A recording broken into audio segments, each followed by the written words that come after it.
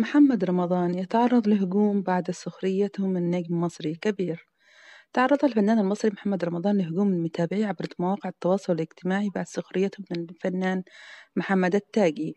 ونشر محمد رمضان فيديو لأحد اللقاءات التلفزيونية التي تحلى محمد التاجي ضيفا بها مؤخرا والذي استنكر فيها التاجي ما قام به محمد رمضان في إحدى أغنياته التي ألقى بها بالدولارات بحمام السباحة.